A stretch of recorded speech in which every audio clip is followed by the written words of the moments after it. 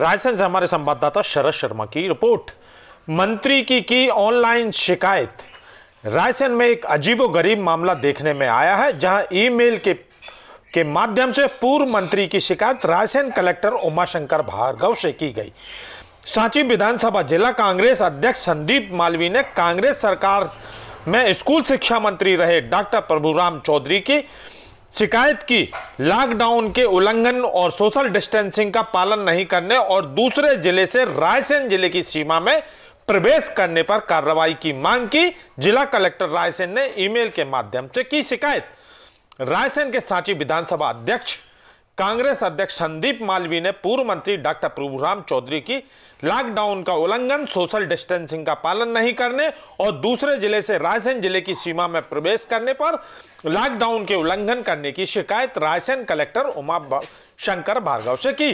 संदीप मालवी जी का कहना है कि जहाँ एक और देश में कोरोना वायरस जैसी महामारी फैली हुई है, वहीं पूरे भारत में लॉकडाउन चल रहा है, वहीं पूर्व शिक्षा मंत्री डॉक्टर सागर से हमारे संवाददाता अनिल वर्मा की रिपोर्ट। सुर्खी विधानसभा में कांग्रेस कार्यकर्ताओं पर झूठे मामले दर्ज तो सड़क से लेकर विधानसभा तक गूंजेगी आवाज़, हर्ष यादव ने कहा।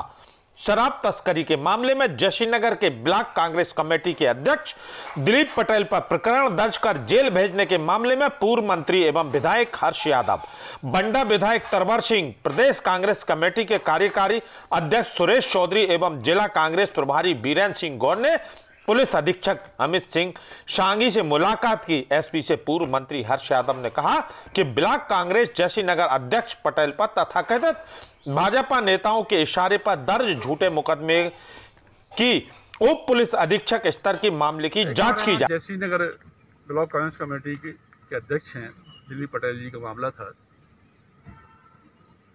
उनके ऊपर झूठा मामला बदजानती पूर्वक कहीं ना कहीं किसी के दबाव में, राजनीतिक दबाव में बनाया गया था शराब का। उस मामले में हम लोग ज्ञापन देने आए थे। और पुलिस अधीक्षक से हम लोगों ने आगाही भी किया है कि जो हमारे ज़िले की फिजा है, कुछ लोग बिगाड़ने का प्रयास कर रहे हैं।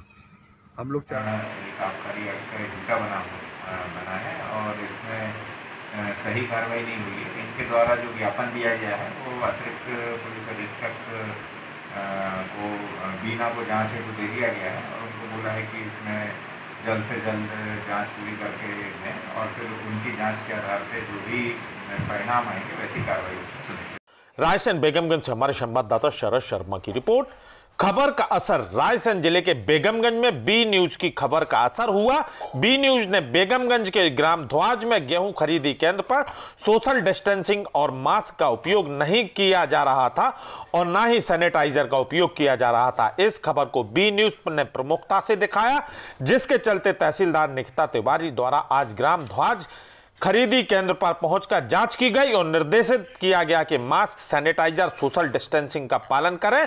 तहसीलदार निकता तिवारी द्वारा सोसाइटी प्रबंधक को जमकर फटकार लगाई और आगे लापरवाही न होने पर बात कही गई है। अगर हुई तो कार्रवाई करने की बात भी कही गई है।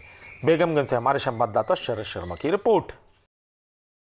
पर हमने आज आकर के चूँकि और भी इस केंद्र के संबंध में हमको शिकायतें मिल रही थी तो आकर के ये जानकारी ली गई कि यहाँ पर व्यवस्थाएँ किस प्रकार की हैं और जो शिकायतें मिली हैं, उनमें कितनी सत्यता है। तो यहाँ पर जो चूँकि समिति प्रबंधक यहाँ उपस्थित नहीं थे, जो केंद्र प्रभारी थे, उनके द्वारा बताया गया कि जो है, सोशल डिस्टेंसिंग का पालन कराने, कराया जा रहा है उनके द्वारा और हमने यहाँ पर अभी समक्ष उनको निर्देशित भी किया कैसे क्या निर्देशन किया?